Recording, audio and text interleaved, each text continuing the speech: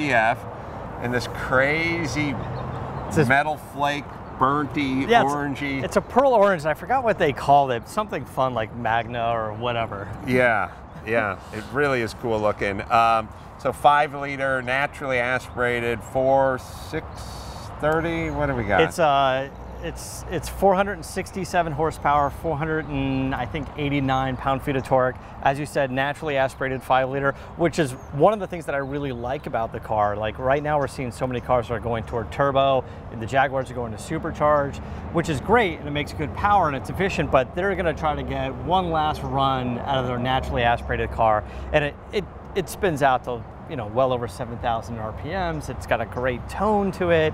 Uh, it's it's a great engine. Uh, I like the interior.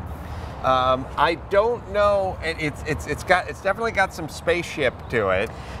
It does, it's- What's the, what is the base price on this car? So it starts uh, around 63,000 and by the time you load it up with a few options, it's about 73,000. But, you know, a lot of people seem to be comparing it to the BMW M4 and the Audi RS5. Both of those cars, when equipped similarly, are more expensive. Yeah, the M4 is a little lighter, it's probably a little faster, but I, I kind of see this one as more of a sport GT car. It's more of a touring car. It's comfortable to ride in, and it's a great car. Is there back seat? There is a little back seat, as you'd expect in a coupe. Yeah. And what's cool about the car is is I, I like that they kept it very Japanese. You know, the Yes. look, the interior is still Japanese, and when this color, it looks like something out of a Japanese comic book. It looks like a transformer. It does. It really does. Uh, all right. So uh, should we look at the engine? Yeah. Let's uh, let's do that. So you can see they added their performance touches. They got their strut tower brace. They added some rigidity to it. This whole car, Lexus dipped into their their current lineup and picked the best of everything. So the mm-hmm. front suspension is from the Lexus GS. This is mm-hmm. basically the subframe of a Lexus GS because the track is wider. The mm-hmm. middle section is the IS convertible because the IS convertible has beefed up rocker panels so it's more rigid and then Right. the rear of it is is the traditional the new IS independent rear so it's sort of three three pieces put together to make one awesome sports car Is this car available right now? this car is available right now you can What do we online. what do we think of this? this spindle grill so this is their spindle design on the F right it has the more aggressive kind of you know grill to it but the ones that have the bumper splitter and stuff um I I think it's it's kind of up in the air I think a lot of people are thinking no but uh, it, It- it doesn't look bad in this form and it's- its aggressive form. It's a it's a lot when you're standing here. Like Yeah. uh, it's got the mouth of uh, the predator. yes, it does. It's- It's, little mouth with the, yeah, I mean, it- other. it is definitely. I mean, look, it's it's one of these things where this is definitely not going to be for everybody, but if you're tired of the seeing people drive around and be, if you if you don't want to be the BMW guy, if you don't want to be maybe the 911 guy, the price point's a little cheaper. No, this car it, you'll definitely stand out more, and they they they do make this available in some cool colors like this. They've got a hot blue that's kind of cool. The interior looks really cool The too. seats are incredibly comfortable. Well, let's and- look at that. And as you'd expect with these guys, they get the technology down well.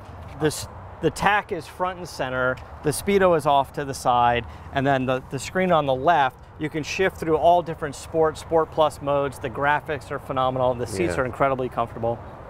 And I love the vents and they're very space age and big time bolsters. They're heated and vented seats as well. so Everything It's got is- pretty much everything in it. as well. You want to fire it up and see what it sounds like. Yeah. like?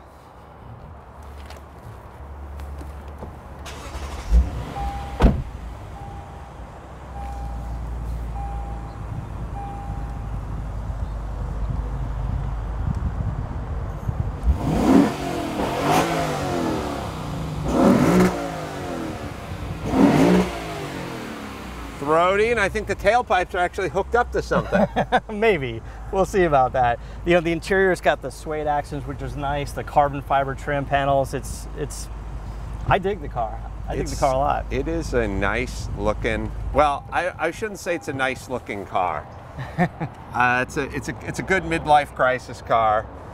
It's a good. I, I don't know. Your wife would probably be pissed if you bought it, but it's definitely, like you said, very distinctly Japanese. And Mm-hmm. for those of us who like Japanese sports cars and their heritage, this ain't the BMW, which is getting confused with the Audi, which is getting confused with the Mercedes. This is its own thing. And, and in a lot of ways, it's a lot like what Cadillac is doing. They're going, hey, we're not going for the bar soap. We're going for our own Yeah. look. I mean, I saw Cadillac coming down the street. I was looking at the headlights, looked like a sh- you know pyramid shape Yeah, headlights, and, and I, I was literally just looking at it, going, I can tell this thing's a Cadillac just coming at me at night. And this is This is doing the same thing This for is sure. doing the same You don't thing. have to get it in bright orange. You don't have to. Right. I mean, all it's- So uh, it is starts off in the mid '60s. You can work Yeah. your way up to the '70s.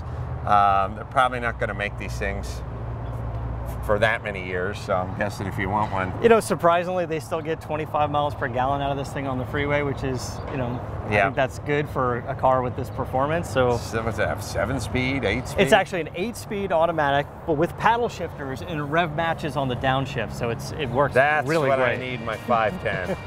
All right, don't forget to visit carcastshow.com to listen to the podcast. It's up each and every Saturday. And until next time, this is Adam Carolla. For Matt, the Motor Raider, D'Andria saying keep the air in the spare and the bag in the wheel.